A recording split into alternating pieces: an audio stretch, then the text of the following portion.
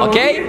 TV Grande Minas, aqui, eu, Gerard Vente, então, na 16ª Parada do Orgulho LGBT. E olha, gente, quem eu tô falando aqui agora com a minha amiga Karen Mu. Tudo bem, gata? Tudo ótimo, perfeito até agora, né? Linda, linda, linda. Fala aí pra mim, por que tava sumida, tá fazendo muito show, o que que tá arrumando? Não, não é sumida, é porque eu só saio mesmo pra trabalho. Eu não sou uma pessoa noturna, eu sou mais diurna, assim.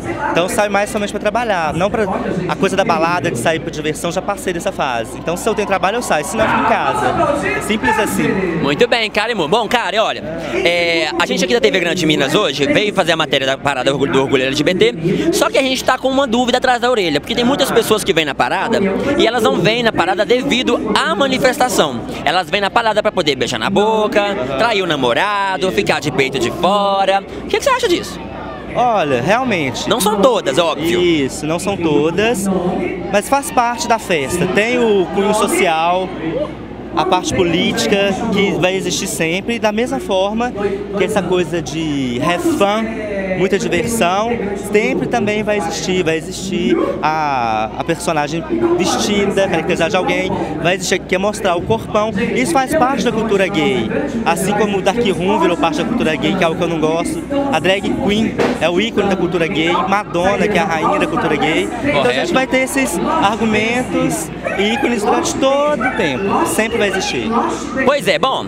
Gente, é, a gente vai estar entrevistando todo mundo. Nesse percurso, cada um vai abrir um envelope. E esse envelope tem umas perguntas das vitórias que a gente teve no início do ano até agora. Bom, Karen, eu escolhe aí o seu envelope. Unidunité, eu quero esse. Ok, abre pra gente. Olha como eu sou delicada. Vamos ver a pergunta. Peraí, vamos ver aqui agora. Pega. Ai, que não seja nada pessoal. Olha aqui. Eu sou tímida. O crescimento, do, o crescimento do número de pessoas que se declaram homossexuais e que mantêm um relacionamento estável já é constatado pelo IBGE. Você concorda? Que está crescendo é, o número de pessoas que estão agora se relacionando, é, morando junto. Concordo plenamente.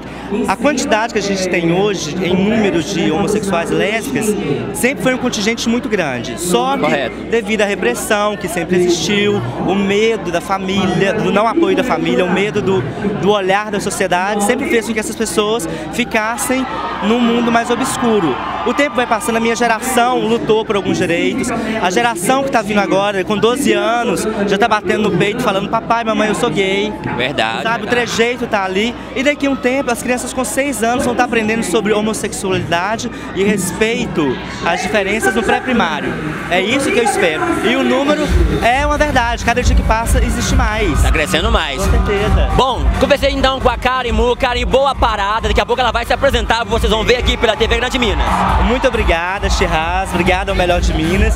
E boa parada pra todo mundo. E vamos lutar pelos nossos direitos, viu, gente? Beijos. Com dignidade. Adoro.